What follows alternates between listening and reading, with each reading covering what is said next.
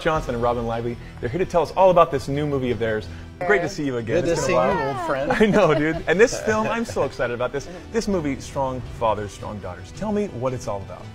I, I would say it's about um, a father dealing with uh, that day in life when you, ha- you have all these expectations for your kids. You know, one day they come home and say, "Actually, I'm going to do this other thing." I think I know, Pez. Yeah. Yeah, yeah, and it's uh, it's you know, it's it's it's shocking and, and uh, scary, and it's the dad kind of dealing, maybe checking the ego, checking the pride, and kind of realizing that our kids need, they might have their own vision, their own passion for Yeah. life, and their own journey, and kind of letting go of that. And working Thanks. together as a couple, as a married couple. What was that like, that dynamic, working together, husband and wife? She says she'll never do it again. Yeah, She's- no, that's it. She's Never done. do that. She's- that was No, it. It was so My great. one shot. Yeah, it was amazing because you know, as actors, you go on set and you have to you're meeting total strangers, and you have to try and manufacture all of these feelings and emotions and history, and like we show up and it's just there, and it was so special. Local. So you got to go check that out, guys. Amazing film, amazing Yeah. people. Before we go, I got to just give you props and a shout out. Oh. Cobra Kai, you just premiered as well on that fifth season. Is that right? Fifth season. Fifth Yep. season. And Season fans are going crazy because Oh, you made it's a so